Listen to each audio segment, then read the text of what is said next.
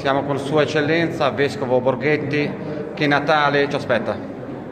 Beh, indubbiamente dal punto di vista eh, cristiano è un Natale come tutti gli altri, dal punto di vista del contesto in cui queste celebrazioni natalizie si collocano, abbiamo tutti la consapevolezza di essere in un contesto un po' particolare. È un Natale qualche volta mi viene da suggerire surreale, un po' particolare. Ecco.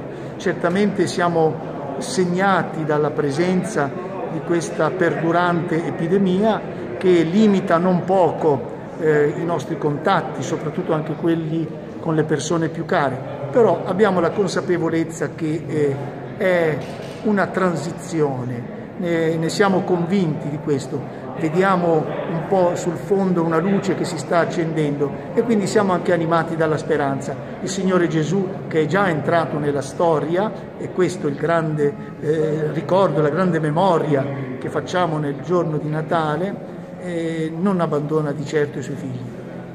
Quindi abbiamo tanta speranza, abbiamo tanta, come dire, accanto all'amarezza di dover rinunciare necessariamente, doverosamente, a tanti contatti, a tanti momenti di convivialità un pochino più spensierati, però abbiamo anche la certezza che eh, tutto questo sta passando attraverso anche l'impegno della scienza, della tecnica e anche della nostra preghiera comunitaria come cristiani.